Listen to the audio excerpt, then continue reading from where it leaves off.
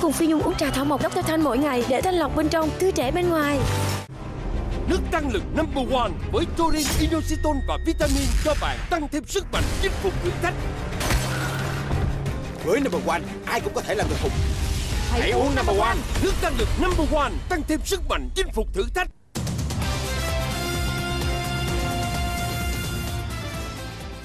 Chào mừng quý vị đang đến với chương trình Tiêu điểm 365 được phát sóng trên đài phát thanh truyền hình Lâm Đồng. Thưa quý vị, chương trình ngày hôm nay sẽ có một số nội dung đáng chú ý như sau. Không khí lạnh tăng cường, miền Bắc rét đậm, miền Trung tiếp tục mưa lớn. Khánh Hòa lắp đặt gương cầu mới và xây thêm 4 đường cứu nạn trên đèo Khánh Lê, Lâm Đồng. Chính thức đưa khởi nghiệp vào giảng dạy trong trường đại học.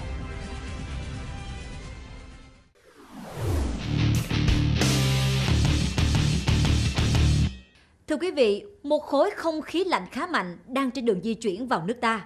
Theo đó, miền Bắc sẽ chuyển rét đậm rét hại, miền Trung sẽ đối mặt với diễn biến mưa lũ hết sức phức tạp trong vài ngày tới. Từ chiều ngày 6 tháng 12, không khí lạnh bắt đầu ảnh hưởng đến các tỉnh miền Bắc. Nhiệt độ vì thế giảm sâu về đêm, còn ngày nắng hanh tạo ra sự chênh lệch lớn giữa ngày và đêm tại khu vực đồng bằng và miền núi. Gió mùa đông bắc sẽ mạnh cấp 3, do ảnh hưởng của không khí lạnh, thời tiết khu vực miền Trung diễn biến xấu, một đợt mưa mới sẽ tập trung ở các tỉnh từ Quảng Nam đến Bình Định với tổng lượng mưa khoảng 100 cho đến 300 mm. Đợt mưa này sẽ kéo dài đến hết ngày 8 tháng 12. Nguy cơ lũ trên các sông ở Thừa Thiên Huế, Quảng Nam sẽ lên lại. Trong đợt lũ này, đỉnh lũ trên các sông từ Thừa Thiên Huế đến Bình Định ở mức báo động 2, báo động 3, riêng các sông ở Quảng Ngãi lên báo động 3. Trong khi đó, hiện tại, tình trạng ngập lụt sâu diện rộng vẫn đang diễn ra nghiêm trọng tại tỉnh Quảng Ngãi đặc biệt là các huyện Ba Tơ, Minh Long, Tư Nghĩa, Nghĩa Hành, Sơn Tây, Sơn Hà, Bình Sơn, Quảng Ngãi có nguy cơ cao xảy ra lũ lớn, lũ quét trên các sông suối, sạt lở đất ở vùng núi, ngập sâu tại vùng trũng, ven sông các tỉnh Quảng Ngãi, Bình Định. Cần đề phòng mưa lũ ảnh hưởng đến an toàn các hồ chứa trên địa bàn các tỉnh trên. Tính đến hết ngày 5 tháng 12, toàn tỉnh Bình Định đã có hơn 230 hộ gia đình bị sập nhà hoàn toàn do mưa lũ. Phần lớn những hộ này nằm ở các xã ven biển và vùng trũng thấp ở hạ lưu sông Côn thuộc huyện Tuy Phước. Mặc dù trong những ngày qua, các tổ chức đoàn thể đã giúp nhân dân sửa chữa, xây dựng lại nhà bị hư hỏng, nhưng với những hộ có nhà sập hoàn toàn, nhất là hộ nghèo, thì việc sớm ổn định đời sống là điều hết sức khó khăn. Người dân hiện rất mong chính quyền sớm hỗ trợ để họ có thêm điều kiện xây lại nhà mới, bởi không xây dựng sửa chữa sớm thì nhiều gia đình sẽ không có nhà để đón Tết. Thưa quý vị, đến nay, nghe tỏi đảo Lý Sơn đã đến với nhiều vùng đất khác và hình thành thêm nhiều vùng chuyên canh mới cho cây tỏi. Thế nhưng, đằng sau câu chuyện chuyển đổi đất canh tác vẫn còn khá nhiều vấn đề, đòi hỏi các địa phương phải giải quyết. Phải mất hơn 1 triệu đồng để mua được một xe gồm 4 mét khối cát từ vùng biển xa, khoản tiền không nhỏ. Nhưng nhiều gia đình ở thôn Xuân Tây, xã Vạn Hưng, huyện Vạn Ninh, tỉnh Khánh Hòa vẫn bỏ cả chục triệu đồng để mua cát về trồng tỏi. Những thửa ruộng mà lâu nay trồng hoa màu giờ đã được cải tạo chuyển sang trồng tỏi. Mà theo họ làm tỏi, hành tỏi mình cũng theo người ta làm. Như bây tôi cũng làm được vụ này vụ thứ ba. Nó thấy nói chung là cái hiệu quả thì hơn lúa nhiều. Một sào 500 mét vuông, vụ trước ông Tuấn thu được một tấn tỏi tươi, giá bán 30 đến 40 000 đồng một kg, lợi nhuận từ cây tỏi gấp nhiều lần so với lúa hay hoa màu. Vậy là trong vòng 3 năm qua, hàng loạt diện tích đất canh tác được chuyển sang trồng tỏi. Cả xã Vạn Hưng có đến 200 hộ trồng tỏi, với diện tích tỏi không dưới 150 hecta. Cũng bởi vì thế, vào lúc này những nông dân trồng tỏi vừa làm vừa xử lý những khó khăn phát sinh. Theo nhiều người trồng, giá tỏi giống tăng cao, lên đến 180.000 đồng một kg. Nhưng lo ngại lớn hơn đối với nông dân không chỉ là chuyện trồng được tỏi hay không mà ở đầu ra cho mặt hàng tỏi. Cái cung ở đây thì bà con tự làm được. Nhưng mà cái cầu đó là một cái điều uh, trăn trở. Có được vùng chuyên canh tỏi cũng đồng nghĩa sẽ định hình diện tích tỏi ở mức bao nhiêu, trên sản lượng ổn định sẽ tạo dựng thương hiệu tỏi Khánh Hòa. Điều này là cần thiết để giúp nông dân tiêu thụ mặt hàng tỏi, hơn nữa cũng tránh được tình trạng mạo danh thương hiệu tỏi Lý Sơn trên thị trường. Gần một tháng nay, người trồng tiêu ở huyện Đức Linh, tỉnh Bình Thuận vô cùng lo lắng khi cây tiêu chết hàng loạt mà chưa tìm được cách để cứu chữa. Nhiều vườn tiêu chết khô sơ sát, trụi gốc vì bệnh hoành hành. Căn bệnh này người dân gọi là bệnh chết nhanh, chết chậm. Gia đình ông Nguyễn Văn Tuấn ở khu rẫy Ba Lon, xã Đức Hạnh, huyện Đức Linh là hộ có thâm niên trong việc trồng cây tiêu. Khoảng một tháng trở lại đây, gia đình ông cũng như nhiều hộ khác đang đứng ngồi không yên bởi hơn 400 trụ tiêu 5 đến 6 năm tuổi bắt đầu cho thu hoạch đang bị bệnh hàng loạt. À, nó chết từ một tháng nay trở lại đây nó chết chết nào hàng loạt. Rồi nông dân mình thấy vậy sợ chết rồi bắt đầu mua thuốc mua nồi ra để để, để, để mua thuốc vô bơm bơm rồi bắt đầu nó đứng đứng sau rồi phải đang nó đi nữa đi nữa bắt đầu nó nhổ dây giật dây lên rồi bắt đầu là cắt bỏ sợ nó lan lan đào mương làm tùm lum á. Hộ ông Tuấn là một trong số rất nhiều hộ dân tại huyện Đức Linh đang đứng ngồi không yên vì hiện tượng tiêu chết. Theo các chủ vườn tiêu, dấu hiệu bệnh của tiêu là cây đang xanh tốt, bỗng ủ rũ như thiếu nước, lá héo dần sau đó mới trở nên úa vàng chết khô cùng dây tiêu, rễ tiêu bị thối đen. Cây tiêu chết hẳn vài tuần sau đó. Theo thống kê, từ đầu vụ đến nay, huyện Đức Linh đã có hơn 150 hecta cây tiêu bị chết do dịch bệnh, thiệt hại lên đến nhiều tỷ đồng.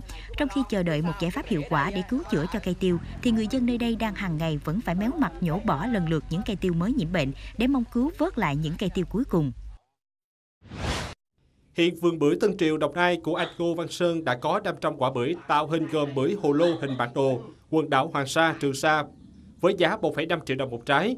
Riêng bưởi hồ lô theo chùm có giá 2,5 triệu đồng một cặp.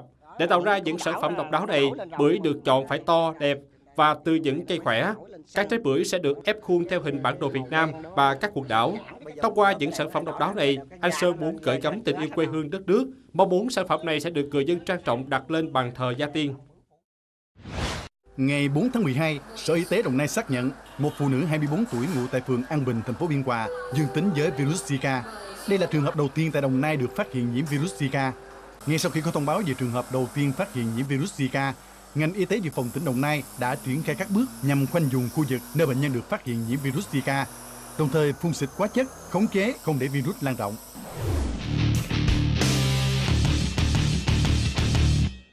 Theo là các thông tin an ninh trật tự và an toàn giao thông. Trước tình trạng ngọn đèo Khánh Lê nằm trên tuyến đường Nha Trang đi Đà Lạt, lâu nay chỉ có duy nhất một gương cầu lồi và một đường cứu nạn. Vừa qua, ngọn đèo này đã được xây thêm 4 đường cứu nạn cùng các gương cầu lồi tại các khuôn mặt nguy hiểm. Để đảm bảo an toàn giao thông trên ngọn đèo Khánh Lê nằm trên tuyến Nha Trang đi Đà Lạt, ngoài một đường cứu nạn và bột cương cầu lồi đã có, ngành chức năng hai tỉnh Khánh Hòa và Lâm Đồng đã vừa cho xây dựng thêm 4 đường cứu nạn cùng tiến hành lắp đặt mới các gương cầu lồi tại những đoạn cua quặt nguy hiểm trên suốt toàn bộ tuyến đường đèo. Đến nay, việc lắp đặt mới các gương cầu lồi đã hoàn tất, riêng 4 đường cứu nạn mới hiện vẫn đang thi công, chưa hoàn chỉnh vì gặp khó khăn do mưa lũ. Có thể nói, gương cầu lồi và đường cứu nạn rất cần thiết cho các lái xe khi lưu thông trên các tuyến đường đèo nguy hiểm, giúp hạn chế được những vụ tai nạn giao thông thảm khốc đã từng xảy ra trên ngọn đèo này. Thưa quý vị, sáng ngày 6 tháng 12, trên tuyến đường sắt Bắc Nam đoạn qua xóm 8, xã Nghi Liên, thành phố Vinh, tỉnh Nghệ An, đã xảy ra vụ tai nạn giao thông tàu hỏa làm một người đàn ông tử vong tại chỗ. Một số nhân chứng tại hiện trường cho biết khoảng 7 giờ 45 phút sáng ngày 6 tháng 12, ông Phạm Văn Bu, 60 tuổi, trú xã Nghi Phạn, huyện Nghi Lộc, Nghệ An, vừa xuống xe buýt và đứng trên đường ray dây điện thoại và không biết tàu hỏa đang tiến đến. Mặc dù người dân xung quanh đã cố gắng la hét ra hiệu cho ông Bu có tàu hỏa, nhưng ông Bu không nghe thấy. Hậu quả, ông U bị tàu hàng số hiệu HH3 xí nghiệp đầu máy Vinh chạy hướng Bắc Nam tông trúng tử vong tại chỗ. Tàu hàng phải dừng lại gần 30 phút để phối hợp với cơ quan chức năng giải quyết vụ việc. Đến khoảng 10 giờ sáng cùng ngày, lực lượng chức năng đã khám nghiệm xong hiện trường và bàn giao thi thể cho gia đình mai táng. Vào trưa ngày 5 tháng 12, tại km 335 thuộc quốc lộ 1A, thuộc địa bàn xã Quảng Phong, huyện Quảng Sương, tỉnh Thanh Hóa, các lực lượng cảnh sát giao thông công an tỉnh Thanh Hóa đã phát hiện bắt giữ xe container do Hà Văn Long điều khiển đang vận chuyển khối lượng lớn gỗ lậu. Qua kiểm tra, số gỗ lậu nói trên được ngụy trang bên ngoài rất kín bằng bánh kẹo và bim bim. Tại thời điểm kiểm tra, lái xe không xuất trình được hóa đơn giấy tờ chứng minh hợp pháp. Bước đầu, lái xe khai nhận vận chuyển số gỗ trên cho một công ty từ Quảng Bình ra Hà Nội. Trạm cảnh sát giao thông đã lập biên bản và bàn giao phương tiện số gỗ trên cho đội kiểm lâm cơ động số 1, chi cục kiểm lâm tỉnh để xử lý theo thẩm quyền. Phòng Cảnh sát điều tra tội phạm về ma túy Công an thành phố Hồ Chí Minh vừa triệt phá đường dây buôn bán ma túy xuyên quốc gia bắt giữ 8 đối tượng, thu giữ 5 kg ma túy. Theo đó, Lê Quang Cường sinh năm 1969, Lâm Kim Phụng sinh năm 1964 quốc tịch Úc trực tiếp điều hành đường dây trên. Hai đối tượng tên Trân và Giang trực tiếp qua Campuchia lấy ma túy rồi giao cho Nguyễn Duy Thạch Thảo sinh năm 1979. Sau khi giao ma túy xong thì Cường Phụng đến nhà Thạch Thảo lấy tiền đổi ra đô la Mỹ rồi đưa cho một người tên Long chuyển qua Campuchia trả cho đầu trên. Thạch Thảo là đầu mối phân phối lại số ma túy trên tại thành phố Hồ Chí Minh.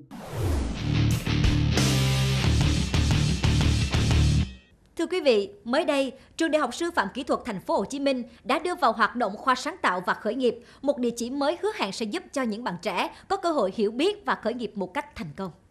Phong trào khởi nghiệp hay còn gọi là startup ở Việt Nam đang trở nên phổ biến và gần như là một xu hướng trong thời gian gần đây. Hiện nay, khởi nghiệp tại các trường đại học hầu như chưa được triển khai, trong khi đối tượng sinh viên là một trong những nguồn lực giàu mạnh. Để khởi nghiệp thực sự là con đường thành công, được những bạn trẻ lựa chọn, Khoa sáng tạo và khởi nghiệp của trường Đại học Sư phạm Kỹ thuật Thành phố Hồ Chí Minh đã chính thức được giới thiệu và đi vào hoạt động. Đây là một khoa rất đặc biệt, một khoa không có giảng viên. Tất cả sinh viên, tất cả thầy cô giáo, tất cả các công dân Việt Nam khi có một ý tưởng nào đó đều có thể đến đây để nhận được sự giúp đỡ từ những người có kinh nghiệm trong khởi nghiệp. Khoa sáng tạo khởi nghiệp mong muốn là cái cầu nối của cả cộng đồng à, để làm sao khiến cho cái việc biến ý tưởng thành sản phẩm rồi từ sản phẩm đưa ra thị trường và từ thị trường phụng sự cái nhu cầu à, bức thiết của đời sống một cách nhanh nhất. Khởi nghiệp ở đây, sinh viên học được tính kiên nhẫn từ những việc nhỏ nhất. Sinh viên được trình bày những suy nghĩ của mình đến những người có kinh nghiệm, được hỗ trợ kêu gọi vốn tài trợ với những ý tưởng độc đáo có tính thực tế. Với sự hình thành và hoạt động bài bản, khoa sáng tạo và khởi nghiệp của trường Đại học Sư phạm Kỹ thuật Thành phố Hồ Chí Minh hứa hẹn sẽ là một địa chỉ đáng tin cậy của tất cả mọi đối tượng, sẽ có được những kinh nghiệm và định hướng khởi nghiệp một cách mới mẻ, hiệu quả và thành công. Thưa quý vị, đến đây thì thời lượng dành cho chương trình cũng đã hết. Cảm ơn quý vị và các bạn đã quan tâm theo dõi. Chương trình Tiêu điểm 365 được phát sóng trên đài phát thanh truyền hình Lâm Đồng. Xin kính chào và hẹn gặp lại.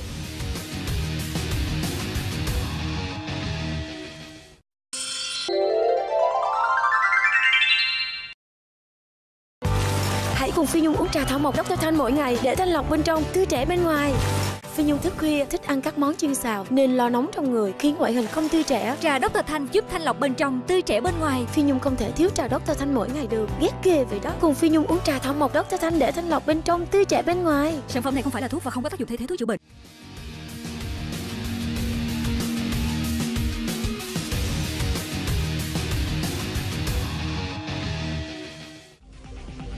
Mười ba người thiệt mạng do mưa lũ tại miền Trung. Thành phố Hồ Chí Minh, lần đầu tiên thí điểm kỹ thuật phun mù nhiệt, phòng chống sốt xuất huyết và Zika. Lâm Đồng, khan hiếm lao động trong vụ mùa thu hoạch cà phê.